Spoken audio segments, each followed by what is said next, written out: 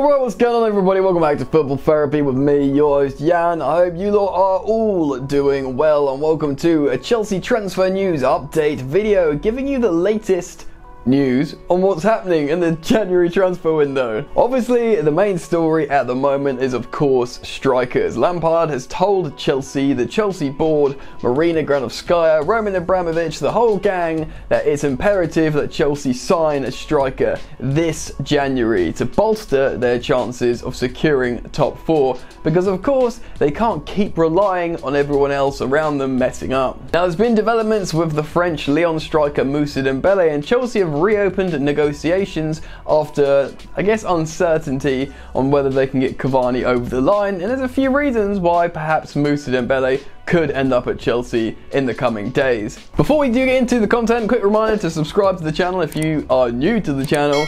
Please do sub, hit the bell notifications icon please, why not? Like the video. Alright, let's get into it. So, to preface this, Chelsea are of course massively interested in Edinson Cavani, the big Uruguayan striker from PSG. Ideally, he would be perfect. Now, if you haven't seen it, I'd recommend you go back a couple of videos and watch my videos on Cavani and you'll learn about the proposed deal that Chelsea have posed to PSG to take Cavani for the remainder of his contract, six months, before he goes off to Madrid in the summer. This would take the wages off PSG's books. It would also, well, it'd also get £5 million loan fee, and in terms of Cavani's perspective, he gets to play football, more regular football than he would at PSG, for the remaining part of the season until he makes his desired move to Atletico Madrid. In an ideal world, that would suit all parties, but Chelsea aren't certain they can get this deal over the line, even though they are negotiating the move in Paris. So, Moussa Dembele, the young French striker that's playing for Lyon, already got 11 league goals this season and an assist to boot. The way Dembele is going, he can get up to 20 league goals at the rate he's scoring, and last season he actually got 15 goals in the league. Ah, as well as 4 assists, so that's 19 goal involvements and just 21 appearances last season. That's pretty good. 21 appearances, 19 goal involvements. A superb return. So he looks like an excellent option, plus he's young, he could develop with the squad, and he'll have some resale value for Chelsea Football Club. Now, Chelsea have seen a bid for £40 million rejected, which is a lot for a striker from Ligue 1, but we all know the market's crazy, and we all know how January can be, and, you know, inflates the price. Plus, they just don't want to sell him. He's a striker in form, doing well, and I think with the new French TV deals, they are less I'm saying inclined. I think people, the money's distributed better, or they get more money in France now a little bit closer to the Premier League, so clubs feel they don't feel pressured to sell players in form. So Dembele had a good season last season, and he looks like he's having an even better one, or he's on course to have an even better one this season. Now, it has been reported, of course, that Moussa Dembele would be interested in the Chelsea move and would be happy with the terms that Chelsea offer him. So second striker, plenty of opportunities, uh, you know, second choice after Tammy Abraham. In fact, play in place of Tammy Abraham when he's injured or fatigued.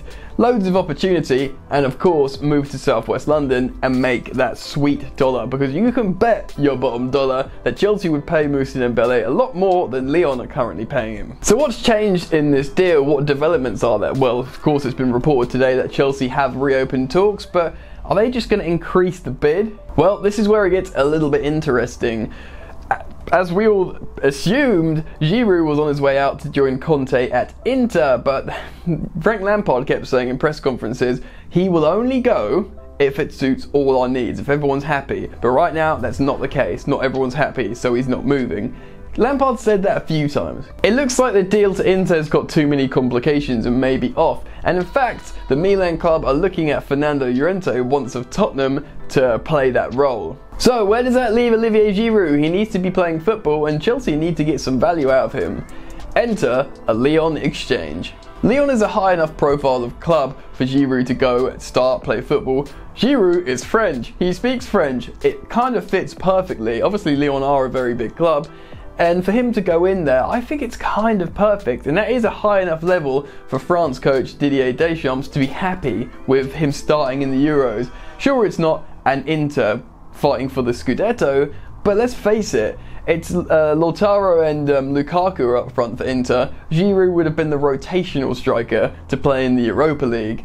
But the thing is, if Chelsea can do a deal with Lyon to get Moussa Dembele to come to Chelsea and they give Olivier Giroud, plus obviously a decent amount of cash, one would imagine, again, that would work. Giroud gets to play football, play in the motherland, start every single game, none of this rotational striker nonsense, and everyone should be happy. To be honest, if Lyon are upset and they're reluctant to sort of sell and negotiate Moussa Dembele, they get World Cup winner Giroud. That must make things a lot easier. Sure, he's old now, but Lyon, the profile of club they're at, they should be pretty happy with that. If Chelsea come up to them and say, look, you can have a World Cup winner Giroud, who's going to start for France in the Euros, plus, mm, I don't know, like what, 35 million pounds?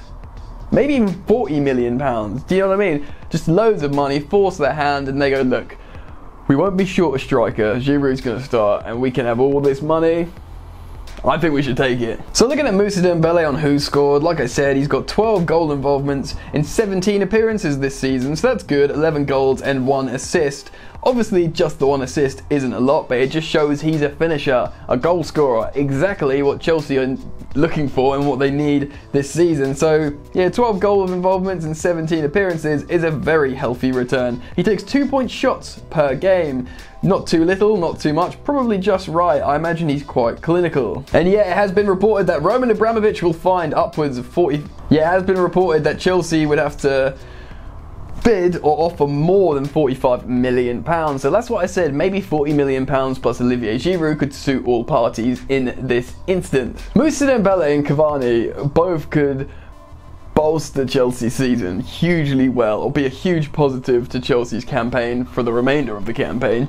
And they're both very, very different. I mean, if you could offer one to me, I'd probably take Cavani because it, the way the deal is structured, you're not buying uh, you know a really old player for so long. You're buying an elite marksman. You're buying, you're loaning an elite marksman for six months. Now that kind of makes sense. He can just finish loads of goals.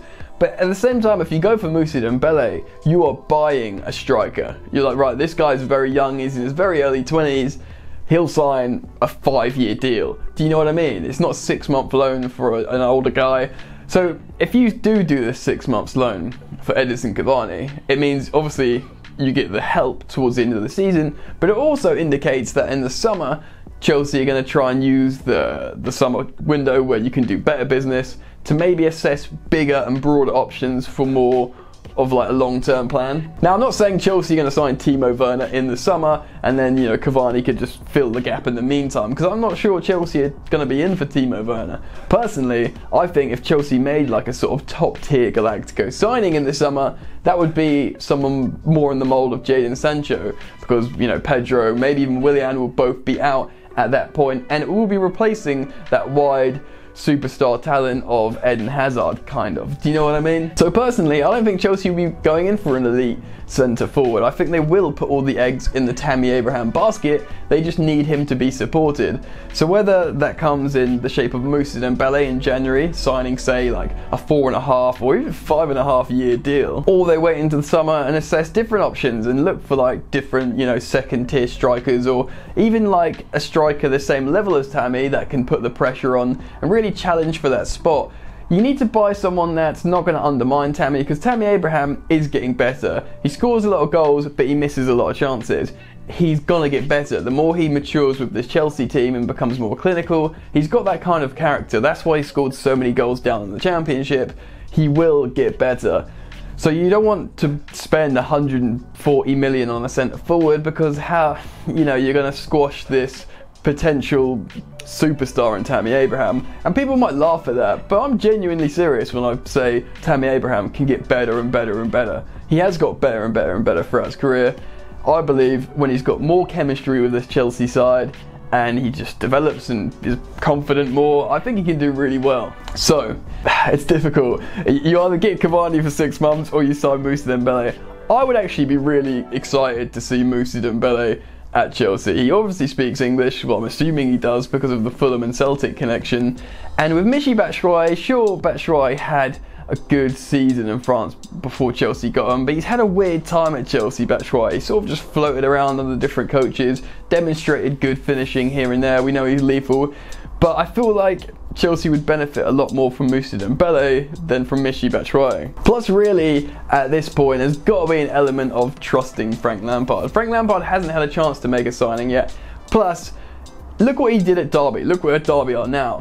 Frank Lampard brought through Bogle, he brought in um, Harry Wilson, he brought in Mason Mount, who all performed really well for um, Chelsea, Derby that season. And obviously, Fikayo Tomori was their player of the season. Lampard collected all these players, you know, he consolidated them and put them into a project. So, sure, he's learning as a coach, and he's still a young coach, and he will develop and will have to learn some lessons as Chelsea coach. But there does seem to be something there in terms of collecting players and having an idea and a philosophy. So I kind of want to trust him and see if he can do the same with a checkbook, with a Roman Abramovich checkbook, you know, like 45 million pounds on a striker, boom, there you go. We trust you. Is Moussa Dembele what you want? He's already said he's in the back of his head, so he has been thinking about it. If the current Chelsea players aren't playing out his ideas on the pitch, he thinks this player can do it then why not? Go and get him. Still, it's a matter of days till the transfer window closes, but Chelsea are doing everything they can to bring in a striker. That's a priority position. The left back,